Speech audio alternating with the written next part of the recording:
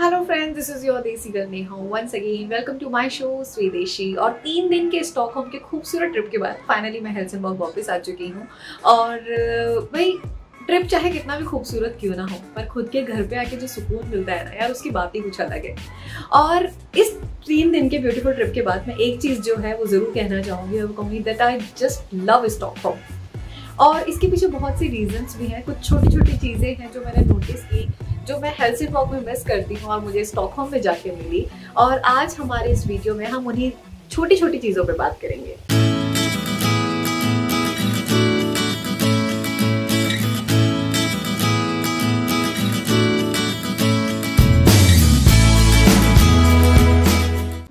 स्वदेशी के एपिसोड्स में आपको हेल्सिनबर्ग दिखाया। और हेल्सिनबर्ग के सारे वीडियोस देखने के बाद एक चीज़ जो शायद आप लोग आप लोगों ने भी नोटिस की होगी वो है कि Helsingborg is full of nature और स्टॉकहोम जाके मुझे वहाँ पे वही सारी बड़ी बड़ी बिल्डिंग्स मॉल्स कैफेज रेस्टोरेंट्स और वो सब देखने को मिला जो कि मैं हेल्सिनबर्ग में बहुत मिस करती हूँ। हालाँकि भाई नेचर की भी अपनी एक अलग बात है, क्योंकि जैसा कि अभी आप मेरे शायद पीछे भी देख पा रहे होंगे, अभी ऑटम चल रहा है और हेल्सिंग में जो खूबसूरती नेचर की देखने को मिलती है, वो स्टॉकहोम में नहीं है बट स्टिल हेल्थ स्टॉकहोम वहाँ जाकर के वो बड़ी बड़ी बिल्डिंग्स और फुल ऑफ़ क्राउड और वो सब देख करके ना, उसकी भी बात कुछ अलग ही है। थी और क्योंकि मैं इंडिया में एक मेट्रो सिटी से बिलोंग करती हूँ, जयपुर से बिलोंग करती हूँ और वही एक जयपुर वाला वो फील और वो नज़ारा मुझे स्टॉकहोम जा के देखने को मिला।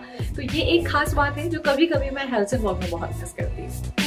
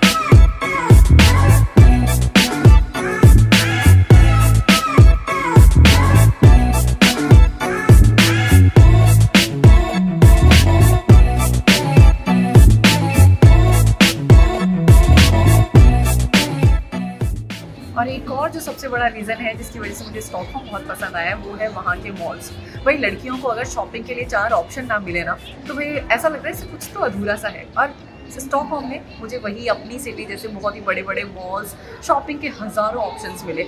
एक ये चीज़ है जो मैं हेल्सिंबर्ग में कभी कभार मिस करती हूँ but still I just love